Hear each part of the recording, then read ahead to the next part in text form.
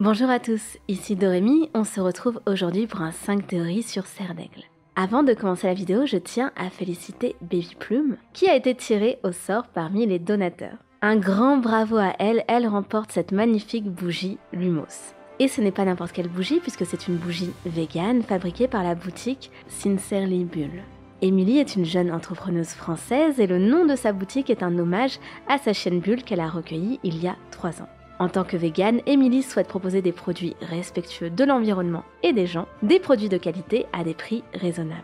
La bougie existe en plusieurs tailles, l'étiquette est personnalisable et plus de 20 parfums sont disponibles, rien que ça. Sa boutique est assez récente donc je compte sur vous pour l'encourager parce que sa démarche est vraiment sincère. Parenthèse close, on peut commencer la vidéo. Première théorie, la salle sur demande a été créée par Rowena Serdaigle. La salle sur demande est une salle magique qui se trouve au septième étage du château. Elle apparaît lorsque quelqu'un en a vraiment besoin. C'est par exemple dans cette pièce que l'armée de Dumbledore, une société secrète fondée par Harry, Hermione et Ron, s'entraîne à lutter contre les forces du mal. Mais qui est à l'origine de l'existence de cette pièce? On sait que Salazar Serpentard est à l'origine de la Chambre des Secrets. Est-ce qu'on peut partir du principe que chaque fondateur a une pièce qui lui est C'est une pièce qui peut servir à étudier ou s'entraîner en toute discrétion, ce qui correspond bien à l'esprit de Serdaigle, le côté académique de la maison Serdaigle, mais on peut aussi penser qu'il s'agit d'une pièce fondée par Elga Poufsouffle, car c'est une pièce qui peut aider tous les élèves qui en ont besoin, et on a cet aspect égalitaire cher à la maison Poufsouffle. Donc ça se joue entre Poufsouffle et Serdaigle, mais pour ma part je pencherai davantage pour Serdaigle. Tout d'abord parce que c'est Rowena Serdaigle qui a imaginé le concept des escaliers qui changent de direction, donc ça colle un peu avec le mécanisme de la salle sur demande. Aussi le diadème de Serdaigle est retrouvé plus tard dans la salle sur demande.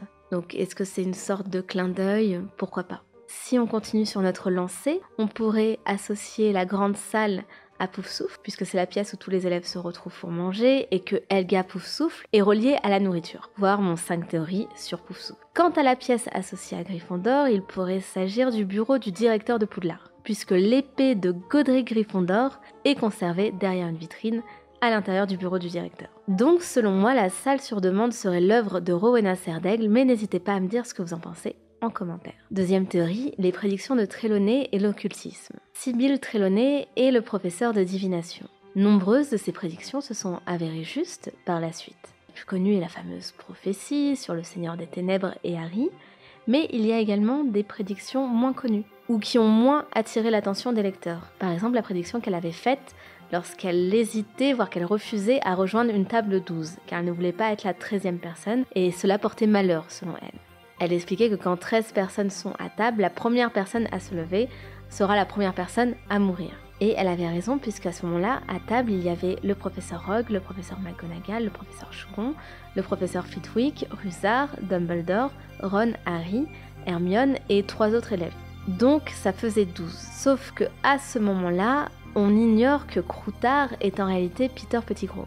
Donc il y a déjà 13 personnes à table. Et au même moment, donc dans ce passage du livre, Dumbledore se lève pour la calmer. Donc il est le premier à se lever et il sera le premier à mourir. Et je ne vais pas revenir sur chacune des prédictions, je vous ai parlé de celle à table parce que c'est celle qui m'a le plus amusé, mais on peut s'interroger sur le message qu'essaye de faire passer J.K. Rowling à travers ce personnage-là.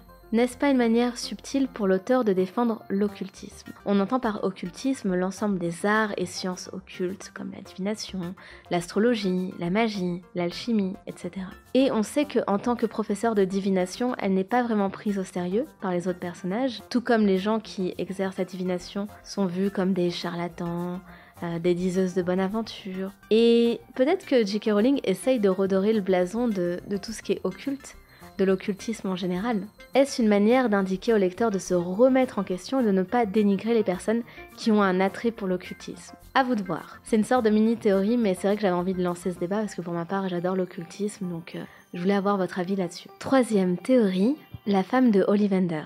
Garrick Ollivander est un fabricant de baguettes très réputé. Il possède une boutique située sur le chemin de traverse. On sait peu de choses sur lui et sur sa famille d'une manière générale, si ce n'est qu'il est marié et qu'il a un fils et une fille. Selon un membre de Reddit, il y aurait des indices sur sa femme dans le tout premier film. Avant de parler du film, il fait le lien avec Harry Potter et le prince de sang mêlé, donc le livre numéro 6, où il s'étonne du fait que bah, pendant que Ollivander est kidnappé, donc il est pris en otage par euh, le Seigneur des Ténèbres, donc par Voldemort, que personne ne s'inquiète vraiment de sa disparition, dans le sens où sa famille n'est pas à sa recherche. Lorsque Harry se rend pour la première fois dans sa boutique, on peut voir quelques secondes derrière le bureau un vase avec des fleurs noires, donc comme des fleurs fanées, et plein de lettres accrochées au mur.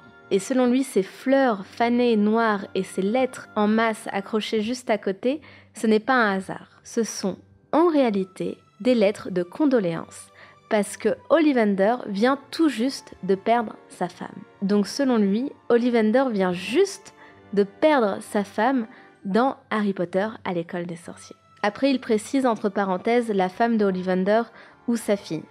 Mais je pense plutôt que c'est sa femme. Pourquoi pas? Je trouve ça très intéressant et c'est vrai que ça me rappelle la théorie euh, selon laquelle Rogue était touché par la mort de Cédric Diggory et qu'il avait mis la cape sur le corps de Cédric. Vous vous souvenez dans mon 5 théories sur euh, Poufsouffle. Donc ce sont des petites théories comme ça qui vont pas changer énormément de choses à l'histoire, mais c'est toujours intéressant quand on revisionne les films. Quatrième théorie, le charme de Gilderoy Lockhart. Parlons de l'irrésistible Gilderoy Lockhart. Pourquoi toutes les sorcières sont-elles sous son charme? Et si Gilderoy Lockhart détenait son charme des Vélanes? Les Vélanes sont des créatures d'apparence humaine capables d'attirer tous les hommes via un puissant sortilège.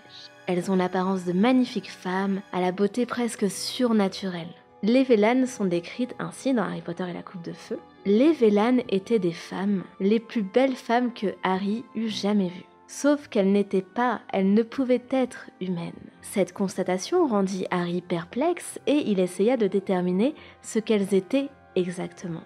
On sait que Fleur de la Cour a du sang de Vélane dans les veines. Il est possible d'avoir des personnages hybrides, moitié Vélane, moitié humain.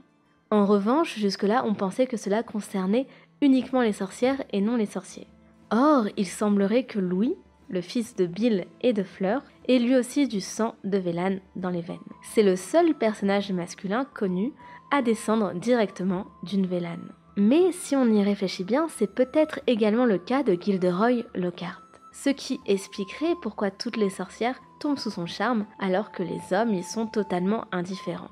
On rappelle que son charme dépasse son statut de professeur puisque il n'y a pas que les élèves qui sont sous son charme. On voit bien que la mère de Ron est aussi sous son charme et il a été, comme il le dit, euh, cinq fois lauréat du sourire le plus charmeur de Sorcière Hebdo. Donc il fait vraiment un sans faute auprès de la jante féminine et il pourrait bien avoir du sang de Vélan dans les veines. Théorie fort sympathique et on passe déjà à la dernière théorie de la vidéo. Dernière théorie, Mimi Géniard, le fantôme japonais. Le personnage de Mimi Géniard reste assez mystérieux. Et je pense que J.K. Rowling s'est inspiré d'une légende urbaine japonaise, la légende de Hanako-san. La légende raconte celle d'une jeune fille qui entourait les toilettes des écoles et des lycées. Hanako-san est réputée pour hanter traditionnellement le troisième cabinet des toilettes du troisième étage, ce qui correspond dans la plupart des cas aux toilettes des filles. On sait que Mimi Géniard hante les toilettes des filles, sauf que elle, elle hante les toilettes des filles du deuxième étage, par rapport à Anako-san qui, elle, plutôt au troisième étage. Il existe de nombreuses versions de l'histoire originelle de Anako-san. L'histoire change selon l'établissement où on se situe. Chaque établissement japonais a sa propre version de l'histoire de Hanako-san. Selon certaines versions, Hanako aurait été une jeune enfant assassinée lors de la guerre. Elle jouait à cache-cache avec ses camarades, mais fut tuée par un bombardement alors qu'elle tentait de se dissimuler dans un cabinet de toilette. Selon d'autres versions, Hanako est une jeune fille qui est harcelée par un pervers, soit un professeur pervers, soit un membre de sa famille, et elle tente d'y échapper en se cachant dans les toilettes, sauf que son harceleur la retrouve et l'assassine. Enfin, d'autres la voient comme une étudiante qui se serait volontairement donné la mort dans un cabinet de toilette, ou bien qui aurait sauté par la fenêtre. C'est une légende que je connais depuis un certain temps et c'est vrai que j'ai tout de suite fait le rapprochement avec Mimi Géniard, même si cela n'explique pas son caractère un petit peu hystérique, le fait qu'elle soit toujours sur les nerfs. Et bien voilà, c'est déjà la fin de notre vidéo. N'oubliez pas d'aller faire un tour dans la boutique pour vous acheter la fameuse bougie Lumos vegan qui est absolument magnifique et fabriquée en France.